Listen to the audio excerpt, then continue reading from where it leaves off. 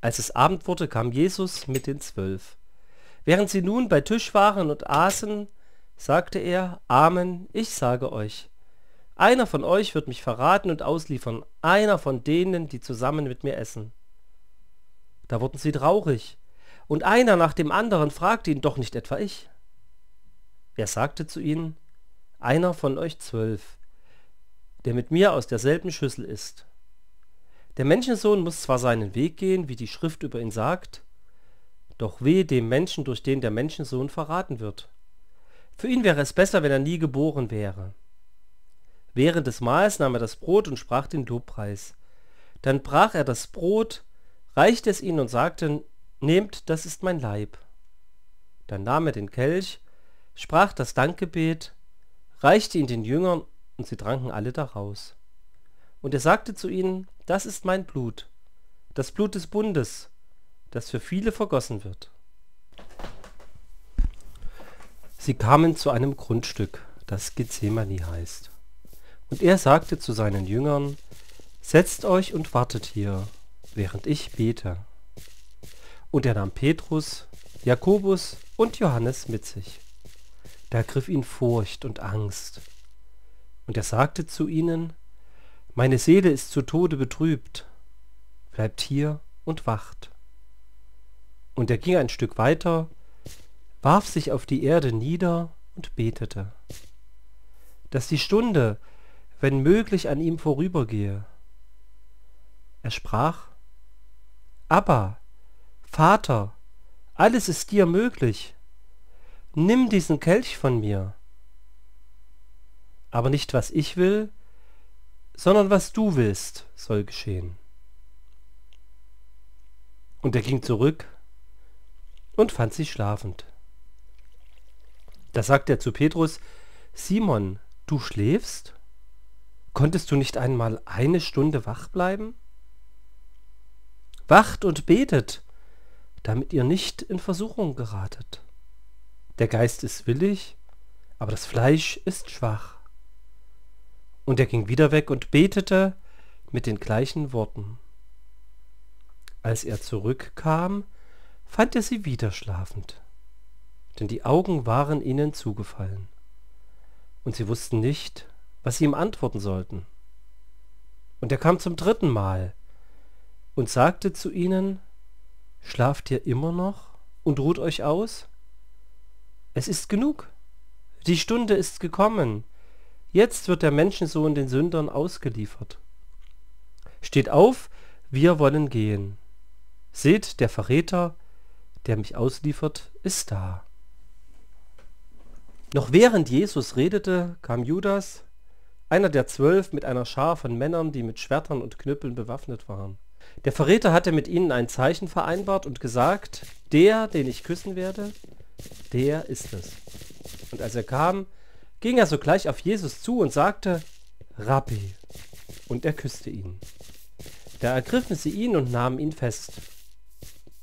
Einer von denen, die dabei standen, zog das Schwert schlug auf den Diener des Hohenpriesters ein und hieb ihm ein Ohr ab. Da sagte Jesus zu ihnen, wie gegen einen Räuber seid ihr mit Schwertern und Knüppeln ausgezogen, um mich festzunehmen. Tag für Tag war ich bei euch im Tempel und lehrte, und ihr habt mich nicht verhaftet. Aber das ist geschehen, damit die Schrift in Erfüllung geht. Gleich in der Frühe fassten die Hohenpriester, die Ältesten und die Schriftgelehrten also der ganze Hohe Rat, über Jesus einen Beschluss. Sie ließen ihn fesseln und abführen und lieferten ihn Pilatus aus. Pilatus fragte ihn, bist du der König der Juden? Er antwortete ihm, du sagst es. Die hohen Priester brachten viele Anklagen gegen ihn vor. Da wandte sich Pilatus wieder an ihn und fragte, willst du denn nichts dazu sagen? Sieh doch, wie viele Anklagen sie gegen dich vorbringen. Jesus aber gab keine Antwort mehr, so dass Pilatus sich wunderte. Jeweils zum Fest ließ Pilatus einen Gefangenen frei, den sie sich ausbitten durften. Damals saß gerade ein Mann namens Barabbas im Gefängnis, zusammen mit anderen Aufrührern, die bei einem Aufstand einen Mord begangen hatten. Die Volksmenge zog zu Pilatus hinauf und bat, ihnen die gleiche Gunst zu gewähren wie sonst. Pilatus fragte sie, wollt ihr, dass ich den König der Juden freilasse? Er merkte nämlich, dass die hohen Priester nur aus Neid Jesus an ihn ausgeliefert hatten. Die hohen Priester aber wiegelten die Menge auf, lieber die Freilassung des Barabbas zu fordern. Pilatus wandte sich von neuem an sie und fragte, was soll ich dann mit dem tun, den ihr den König der Juden nennt? Da schrien sie, kreuzige ihn. Pilatus entgegnete, was hat er denn für ein Verbrechen begangen? Schrie noch lauter, kreuzige ihn. Darauf ließ Pilatus, um die Menge zufriedenzustellen, Barabbas frei und gab den Befehl, Jesus zu geißeln und zu kreuzigen. Dann führten sie Jesus hinaus, um ihn zu kreuzigen. Einen Mann, der gerade vom Feld kam, Simon von Cyrene, den Vater des Alexander und des Rufus, zwangen sie, sein Kreuz zu tragen. Und sie brachten Jesus an einen Ort namens Golgotha, das heißt übersetzt Schädelhöhe. Dort reichten sie ihm Wein, der mit Myrrhe gewürzt war, er aber nahm ihn nicht. Dann kreuzigten sie ihn. Sie warfen das Los und verteilten seine Kleider unter sich und gaben jedem, was ihm zufiel. Es war die dritte Stunde, als sie ihn kreuzigten. Und eine Aufschrift auf einer Tafel gab seine Schuld an, der König der Juden. Zusammen mit ihm kreuzigten sie zwei Räuber, den einen rechts von ihm, den anderen links. Als die sechste Stunde kam, brach über das ganze Land eine Finsternis herein. Sie dauerte bis zur neunten Stunde. Und in der neunten Stunde rief Jesus mit lauter Stimme, Eloi, Eloi, lema sabachthani. Das heißt übersetzt, mein Gott, mein Gott, warum hast du mich verlassen? Dann hauchte er den Geist aus. Da riss der Vorhang im Tempel von oben bis unten entzwei.